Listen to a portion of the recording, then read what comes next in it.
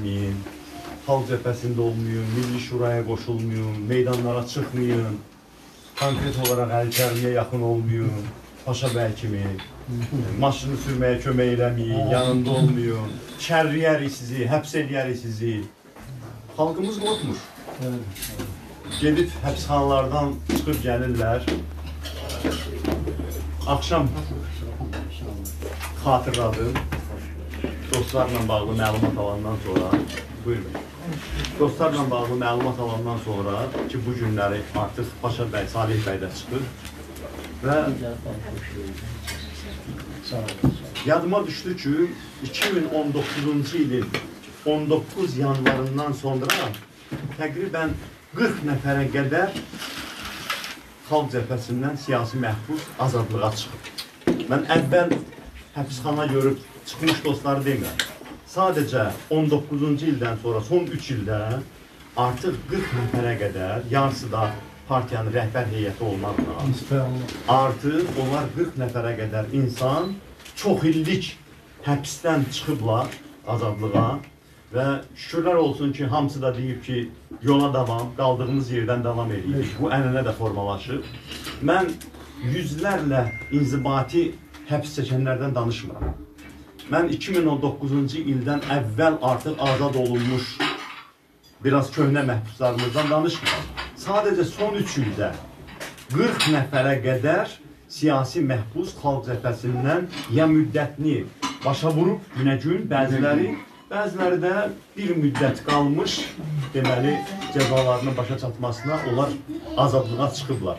Bunu niyə görə xatırlamaq lazımdır? Xalqımız fərqində olmalıdır ki, o qədər də asan başa gəlmir bu mübarizə. Çox böyük qurbanlar verdik biz. Bəli, bizə çox xoşdur. Paşa bəyin ovqatı yaxşı. İndi yolda gələndə Salih bəylə danışdım. Ovqatı yaxşı, o ayrıca bir məsələdə o barədə məlumat verəcəm sizə ki, Salih bəyin dostları ilə görüşə bilməməsi üçün hansı dedektiv ssenari yazıb Azərbaycan hökuməti. Təsəvvür edin, nə qədər qorxu içindədirlər bunlar. Bu özü göstərir onu. Amma hələ ki ona sonra qayıdaram. Əsas onu vurğulamaq istəyirəm ki, iki gün bundan qabaq Aqil bəy, indi Paşa bəy, Salih bəy, ondan əvvəl çıxmış digər dostlarımız, hamısı çox optimist. Hamısı e, elə danışırlar ki, bəzi dostlarımız deyir ki, siz həbsxananı az reklam eləyin. O dərəcədə. Nəyin göstəricisidir bu? Əqidə kamilliyinin göstəricisidir. İnsanlar bilirlər ki, nəyə görə həbs olunurlar. Biz e, bura yolda gələndə o ömürlük həbs olunmuş iş adamını, hansı ki, şəxsi qərəzi ilə onu həbs eləmişdilər, onu gördü adamlığa çıxmağın. Mən dostlara deyirəm ki, onun zülmü bizimkilərdən çox pis olur. Təkcə ona görə yox ki, ölüm, ömürlük O adam heç nə eləməyib. Bizim hər birimiz başa düşürük ki, şuurlu bu yolu seçmişik. Biz vətən millət davası aparırıq. Biz bilirik ki, bizim bu başımıza gələ bilər. Biz bunu bilirik. Və bu yola çıxmışıq, hər hansı birimizin başına gələ bilər. Məsələn, biri Paşa bəy. Çox deyirdi ki, məni niyə tutmurlar? Deyirdi, deyirdi. Çox sağ çox Neçə dəfələrlə deyirdi ki, ola bilməz, e, mənim sağımı solumu tuturlar deyir. Necə ola bilər deyir. Məni hələ də tutmayıblar. Adam özündən şübhələnir. Tutdular. Amma biz bu barədə günə-günə danışırıq. Çox şükür ona ki, günə-günə danışırıq. Çünki xalqımızın bir göstəricisidir. Xalqımız doğrudan da azadlıq üçün fədakarlığa hazır xalqdır. Və bizim hamımızı bu cəbhə camiyyəsini, Milli Şura bu insanları belə cəsur eləyən nədir? Rəsulzadə örnəyi. Mən hər dəfə dostlara deyirəm, nə zaman yorulsanız, usansaz, fikirləşsəz ki, bu nə qədər məsuliyyət düşdü üzərimizə, nə qədər məhrumiyyət yaşadıq, nə qədər çox əzab oldu, o tutuldu, bu tutuldu, işgəncə oldu, döyülmək oldu. Dərhal Rəsulzadəni xatırlayın. Oğlunu, qızını, həyat yoldaşını, anasını bu yolda qurban verib, Azərbaycan davasından vaz keçməyən bir öndərimiz oldu. Bu yolun yolçusu bütün mümkün olan hər şeyi qurban verib Azərbaycan üçün. Və onu xatırlayanda görürsünüz ki, bizim verdiyimiz qurbanlar, yaşadığımız məhrumiyyətlər heç bir şeydir. Ona görə də biz bu yola çıxmışıq, məqsədimizi də çox yaxşı bilirik. Məqsədimiz xalqımızı azadlığa qovuşturmaqdır. Çəkdiyiniz əziyyətlər hamısı həmin o millətimizin azadlığı naminə aparılan mübarizə töhbədir. Heç bir əziyyətiniz boşa getmir, əmin olun onu. Onların hamısı toplanır və bu günləri əgər Azərbaycan xalqı azadlıq ideallarına bu qədər sadiqdirsə, azadlığa bu qədər can atırsa, sabahları bir ilk seçim keçirilsin bu ölkədə neçə illik fasilədən sonra, yenə də azadlığa, ədalətə səs verəcəksə, bu aparılan mübarizənin nəticəsidir. Azərbaycan cəmiyyəti böyük bir son illərdə sınağı gözünün qabağında gördü. İndi mən xalq cəbhəsinə qarşı olan təzyiqlərdən danışdım. Qısaca xatırlatmaq istəyirəm Milli Şura üzrə müttəfiqlərimiz olan təzyiqlərdən. Bu yolda biz bir sıra dostlarımızı fiziki olaraq itirdik. Allah rəhmət eləsin gözəl bayramlıya. Gözəl bayramlının başına gələnlər, onun xəstə-xəstə məhkum edilməsi, müalicəsinə imkan verilməsi, verilməməsi və sonra da dünyasının dəyişməsi, Oktay Güləliyevin başına gələn, İbrahim İbrahimlinin başına gələn, o adama necə işgəncələr verdilər. Heç ondan sonra düzəlmədi ki İbrahim bəy. Bax biz burada Milli Şura özləri təsdiq edirik onu. İbrahim İbrahimli 2019-cu ilin 19 oktyabrında gördüyü işgəncədən sonra rəhmətə gedənə qədər sağalmadı. Hər zaman xəstəxanalarda oldu, müalicə olundu. Necə boğmuşdular onu, boğazdan hansı bir zərbəni endirmişdilər. Necə bir zədə toxundurmuşdular, sağalmadı illər ərzində. Bizim dostlarımız nələrdən keçmədilər? Tofiq bəy dəfələrlə həbs və işgəncə. Gültəkin xanım 100 min manatdan artıq mənasız yerə sifarişli cərimə. İndi hal-hazırda cərimə növbəti Vidadimir Kəmalda. 100 min üzərində təzədən cərimə qoyublar Vidadimir Kəmalın üzərinə. Nurəddin Mustafayevin 3 övladını bir gündə işdən çıxardılar. Milli Şura üzrə digər bizim dostlarımıza Şahbələt Çobanoğlu və Rahim Hacıyevə bir günün ərzində cinayət iş açdılar dərhal. Bütövlükdə bu camiyə qarşı nələr eləməyiblər? Nələr eləməyiblər? Nədən ötürü eləyiblər bunun hamısını? Bizi qorxutmaqdan ötürü. Mane olmayın, bir ailə istədiyi kimi bu ölkə nəzarətdə saxlasın. Bizə verilən mesaj bu idi. İmkan verin, qoyun biz bu ailə istədiyimiz kimi burada sülalə hakimiyyəti quraq. Ölkənin sərvətlərini talan eləyək. Siz milləti ayıltmayın, siz etiraz eləməyin. Bizə verilən mesaj bu idi. Məmnunam ki, Azərbaycan xalqı və onun öncül övladları bu sınaqdan çıxdılar. Dedilər ki, 100 il bundan qabaq cumhuriyyət qurmuş babaların nəvələri olaraq biz ailə əsarəti qəbul etmirik. Verilən mesaj bundan ibarətdir. Qəbul etmirik ailə əsarəti. Biz bu ölkədə bərqərar eləyəcəyik azadlığı. Mütləq və mütləq bərqərar eləyəcəyik azadlığı. İndi də görün, nə qədər özgüvənləri yox, siyasətdən kənar adamlar, rəqabətə hazır olmayan adamlar. İki gün bundan qabaq Xalq Cəbhəsi Rəiyyət Heyətinin üzvü Aqil Məhərrəmli çıxıb, getmiş iş evinə canlı yayın imkanları vermədilər. Deməli, dünəndən xəbər çıxıb ki, Salih Rüstəmli çıxacaq, Rusiya vətəndaşıdır. Paşa bəy çıxacaq. Deməli, dünən gecə saat 5.45-də Salih bəy evinə buraxıblar. Bir iş qurublar ki, səhər tezdən Rusiya səfirliyinə çağırsınlar. Oradan deməli, təcili onu göndəriblər artıq 4.30-a Moskva reysi ilə ölkədən çıxmalısan, əks təqdirdə deportasiya eləyəcəyik. Nə var, nə var, cəbhəçilər kollektiv şəkildə gəlib Salih Rüstəmli ilə görüşməsinlər. Gör nə gündəsiz siz. Bu qədər qorxursunuz siz siyasi rəqabətdən. Bizim haqq sözümüzdən bu qədər qorxursunuz siz. Salih Rüstəmli əqidəsinə sədaqətli. Salih Rüstəmli çıxdı və mesajını verdi. Paşa Umudov çıxdı və mesajını verdi. Aqil Məhərrəmli çıxdı və mesajını verdi. Ondan əvvəl də hər bir azadlığa çıxan dostumuz çıxıb mesajını verir. Bu yol yolsuz qalmayacaq. Heç narahat olmayın.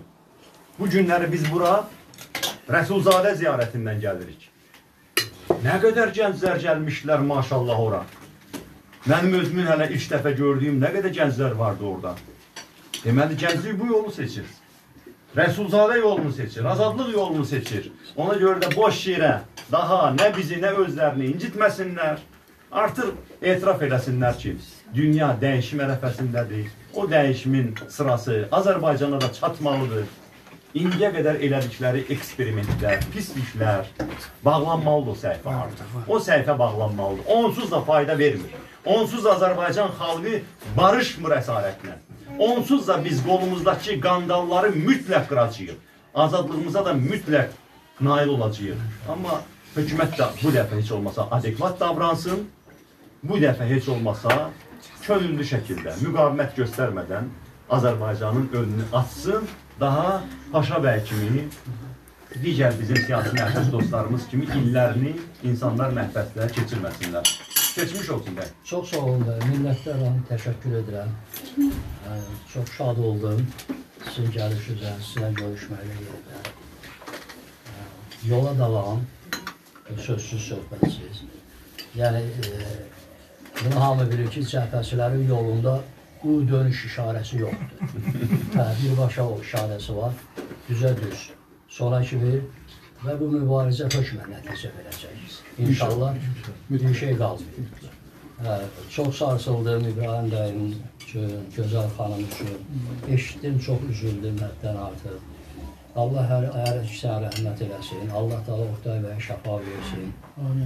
Hə, Təəssüf ki, e, düzdür gözəl gündə buraxıldı, amma 27-si buraxsaydım daha yaxşı olardı ki, mən də o Rəsulzadəni ziyarət edərdim. Arada gedərsən, nə olur? Orada olanda mənə bir nəfər dedi ki, mən e, e, Əli bəyi Rəsulzadədən üstün tuturam. E, dedim, nəyə görə? Dedi, çünki e, Rəsulzadə ailəsi uşağın atdı, çıxdı, getdi, öz başını götürdü, qaçdı. Dedim, düz demirsən. Ona görə düz demirsən ki, başını götürüb qaçmadı, Azərbaycanın bayrağını götürdü, getdi və 36 il o bayrağı bədəninə sarıyıb gəzdirdi və o ona görə ailəsini burada qoyub getdi ki, o Azərbaycanı ailəsindən üstün tutdu. Ailəsi üçün yaşayan insan deyil. Ailəsi üçün yaşayan məmurlardır, nazirlərdir, öz balaları üçün, evladları üçün. Rəsulzadə vətəni, Azərbaycanı ailəsindən üstün tutan bir şəxsiyyət idi.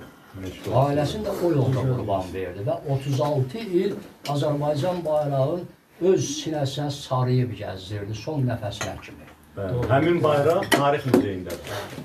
Rəsulzadənin ölüm təhlükəsi altında həbsxana kameralarında bədəninə sarıyıb gizlətdiyi Azərbaycanın milli dövlət bayrağı bu gün tarix muzeyindədir.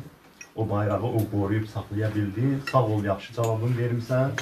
Böyük Rəsulzadəyə qarşı aparılan təbliğatın hamısı motivindən asılı olmayaraq Azərbaycana qarşıdır. Onun heç belə şəkki şübhəsi yoxdur ha. Azərbaycanı sevən insanlar əslində Azərbaycanı sevməyi ilə Rəsulzadədən öyrəndilər. Hardan öyrənmişik ki? Biz Rəsulzadədən öyrənmişik Azərbaycanı sevməyi. Azərbaycana təmənnasız xidmət eləməyi də bu gün mənimsəyənlər varsa Rəsulzadədən və onun silahdaşlarından mənimsəyirlər. Əbülfəz Elçibəydən öyrəniblər. Ona görə də e, o milli öndərlərimizə qarşı hər hansı təbliğata gərək biz şans tanımayaq. Bu artıq fikir ayrılığı filanı söhbəti deyil dövləti bizim üçün yoxdan var etmiş, qurmuş, hər şeylə itirmiş bu yolda insanlara qarşı əks təbliğat birbaşa milli maraqlara yönəlib. Bunu hər hansı bir fikir pluralizmi ilə əsaslandırmağa ehtiyac yoxdur. O Rəsulzadənin kölgəsi altında sönük görünən, əzilən adamların təbliğatı. Bəli. Rəsulzadə o qədər böyükdür. 17-18 yaşından e, e, dövlət yaratmaq, dövlət qurmaq ideyaları ilə yaşayan bir insan sonda gəldi öz ideyalarına nail oldu. Yoxdan Əli bəy demiş ki, bir dövlət var elədi. Bir e, bir dənə biri ev duranda keçən bir ki, bu filan kəsin evidir, bunu tikirlər. İndi dünya da bilir ki, bu Rəsulzadənin ölkəsidir, bunu Rəsulzadə qurulmaq deyilər. Bu onun evidir. Hə, o, o evdə səliqə sahmanlığı e, pozurlar. E, o evdə azadlığı pozurlar. O evdə bizim haqqımız olan hüquqlarımızı əlimizdən alırlar. Bərpa edəcəyik. Hə, biz də onların Burada mübarizəyə qalxmışıq, savaşa qalxmışıq ki, bizim gözəl gül kimi vətənimiz var. 10 milyonluq əhaliyə Allah Taala o qədər sərvət töküb bu torpağa, torpağa ki, hər bir vətəndaşın 1 milyon pulu ola bilər bu ölkədə. Amma bir qrup e, məmur ordusu e, çalıb çapıb ölkəni yığıb öz qabağına, öz altına bu var dövləti, sərvəti, amma e, Azərbaycan xalqı bu günləri uşaq pulsuz yaşayır. Repetitorların hesabına qalıb, tibbi sığortası yoxdur, 300 manat, 500 manat maaşın hesabına dolanırlar, yaşaya bilmirlər. İnanın mənə, penitensiyanın işçiləri var ki, gedib işdən sonrası istirahət günündə tikinti təmir işləri ilə məşğul olurlar. Mən Kürdəxanada olanda orada bir nəzarətçi e, sizin bəlkə də yadınıza gələr. Sumqayıt yolunda Şadman e, o yük avtomobili qəza törətdi. Orada o sürücü ölmüşdü. Səndim o sürücü Kürdəxanı e, təcridxanasının nəzarətçisiymiş. Hə onda səhərsi gün onu eşidəndə mən orada rejim rəisinə dedim ki, bax dedim bunun uğrunda biz mübarizə apardıq. Çünki onun nizamnaməsində yazır ki, o öz işindən başqa heç bir işlə məşğul ola bilməz. Amma dolana bilmədiyi üçün gedib onu Amma deyir. ona 500 manat maaş verirlər, 500 manata dolana bilmədiyi üçün məcbur olub gedib gecə şadman avtomobili sürür və nəticədə də yuxusuzluğun hesabına qəza törədib həyatdan köçüb gedir, vaxtsız vədəsiz. Amma siz e, e, belə deyək də o adama e, lazımi qədər, kifayət qədər əmək haqqı verilsə də o gedib gecə şadman maşın sürməz. Mübarizəmizin gedib sizə çatmaq üçün e, qısaca forması budur. Yaxşı izah eləmişsən. E, e, Demək orada da boş durmamısan da. Yox, yox, ben boş yatar dura bilər. O zaten Qaraca oğlan demiş ki, desəm öldürərlər, deməsəm öldürərlər. O elə öldürsünlər. Hər iki halda olacaq. Paşa bəy, yaxşı, mən bunların kəhub taladığını bildim və sizin ha- hanı pullarınız, narka baronsunuz, boyda böyük biznesiniz var. İndi mən eşitdim ki, e, deyirlər ki, e, narko- narkotikada dəyişikliyi var, o miqdarın zadını artıracaqlar. Mənim üstümdə 11.82 olur. E, o düşəcək şəxsi istehlak miqdarına. Onda mən məhkəmə iddiası açacağam ki, mənim nəşəm qayıtmır. Mənim Bakı pul verir. Bize de bir karşı ediyor.